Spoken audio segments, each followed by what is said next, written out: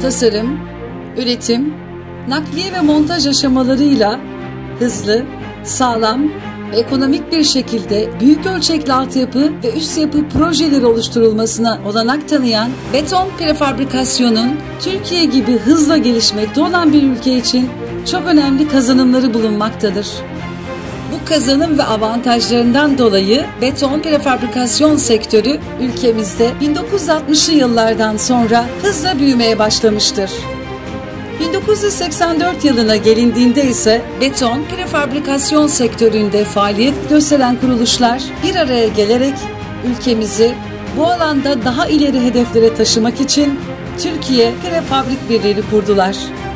Türkiye Prefabrik Birliği'nin en önemli çalışmalarından biri sektördeki proje, üretim ve uygulamaların TSE ile birlikte ortaklaşa oluşturulan TSEK 118 kalite standartlarına uygunluğunun denetlenmesi ve bu standartların bütün beton prefabrikasyon sektörü için yaygınlaştırılmasıdır.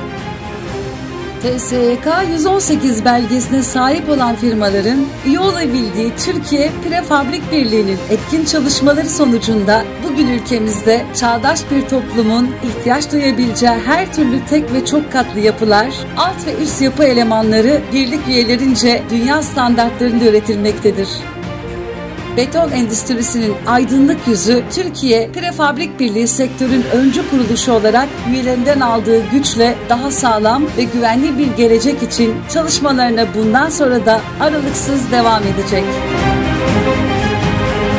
Türkiye Prefabrik Birliği Hayata bakın, bizi göreceksiniz.